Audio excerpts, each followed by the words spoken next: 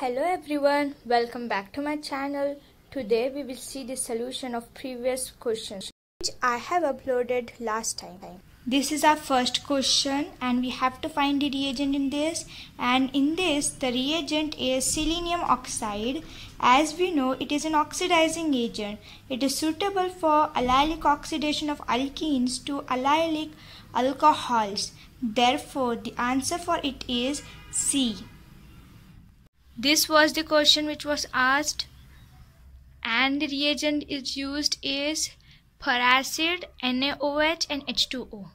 Therefore over here no MCPBA is used instead of it peracid is used which also leads to form an epoxide.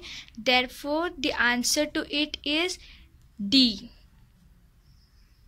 This is our next question in which the reagent is lithium in liquor ammonia and in alcohol.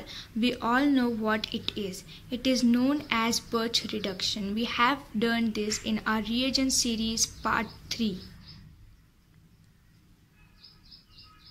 We will see the mechanism of it. In presence of liquor ammonia,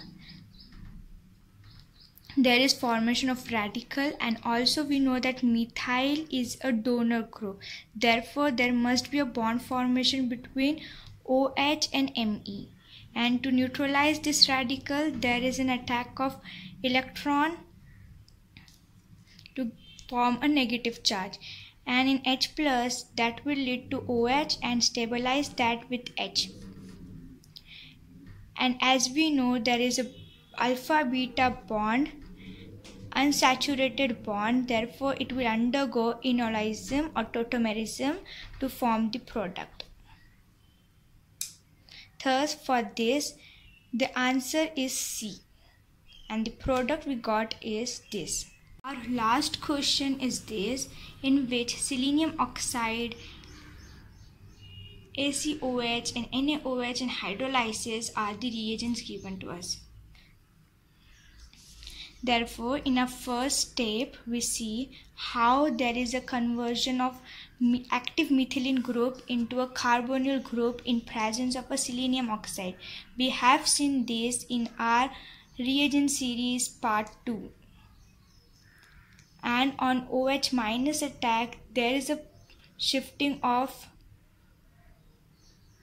O minus and there is an Rearrangement also occurs in it which is known to be as benzil benzilic rearrangement and therefore it leads to ring contraction from 6 membered to a 5 membered ring.